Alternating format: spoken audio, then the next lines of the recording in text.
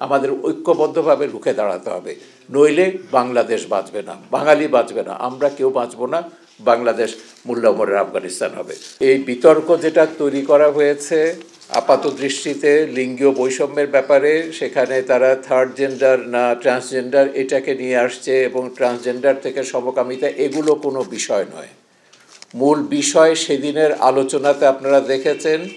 তাদের বিষয় হচ্ছে ধর্মনিরপেক্ষ শিক্ষানীতি থাকতে পারবে না সমতা ভিত্তিক শিক্ষানীতি থাকতে পারবে না। তাদের ভাষায় ইসলামে তৃতীয় লিঙ্গের কোনো স্বীকৃতি নেই।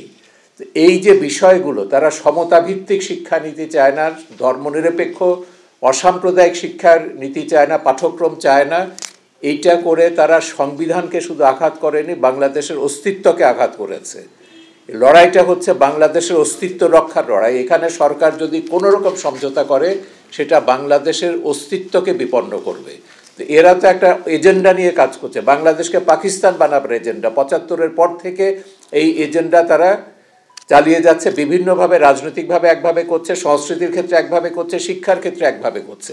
এখন পর্যন্ত আমরা সেদিনের আলোচনা আপনারা দেখবেন, তারা কিন্তু আলিয়া মাদ্রাসা পাঠ্যক্রম পরিবর্তন যেটা করা হয়েছে, সেটার বিরুদ্ধে আপত্তি জানিয়েছে। তারা বলেছে, আলিয়া মাদ্রাসার পাঠ্যক্রমের উপর হাত দিতে পারবে না। আলিয়া মাদ্রাসা আমাদের দেশের জনগণের ট্যাক্সের টাকা, আলিয়া মাদ্রাসা চলে। আলিয়া মাদ্রাসা পাঠ্যক্রম সরকার নিয়ন্ত্রণ করবে না এটাকে হেফাজতিরা নিয়ন্ত্রণ করবে?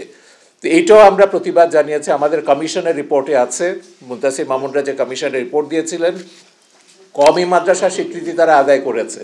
কিন্তু কমই মাদ্রাসার ক্যারিকুলামের উপর আমাদের কোনো নিয়ন্ত্রণ নেই।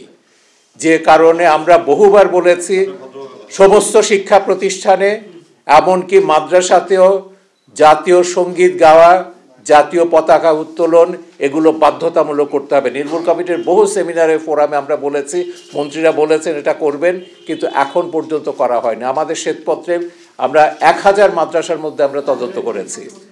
এক হাজার মাদ্রাসার শিক্ষক, please please please please please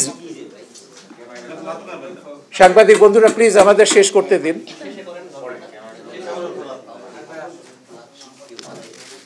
এই যে বিষয়গুলো মাদ্রাসার ছাত্রদের মধ্যে আমরা তদন্ত করেছি, তারা জাতীয় সংগীত কেন গায় না, তারা বলেছে, ওই মনোজগতে যে মৌলবাদ সাম্প্রদায়িকতার আধিপত্য স্থাপন করা হয়েছে, তারা বলছে জাতীয় সংগীত গাওয়া হারাম, জাতীয় সংগীত হিন্দুরা লিখেছে। তো এই জায়গা থেকে আমাদের বেরিয়ে আসতে হবে। মনে রাখতে হবে এটা বাংলাদেশ, এটা পাকিস্তান না, এটা মোল্লা উমরের আফগানিস্তান না।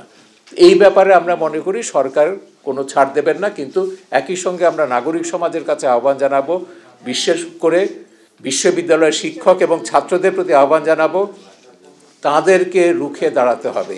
এই ধরনের মৌলবাদীকরণ, সাম্প্রদায়িকীকরণ শিক্ষার ক্ষেত্রে হোক, সংস্কৃতির ক্ষেত্রে হোক, রাজনীতির ক্ষেত্রে হোক, আমাদের ঐক্যবদ্ধভাবে রুখে দাঁড়াতে হবে।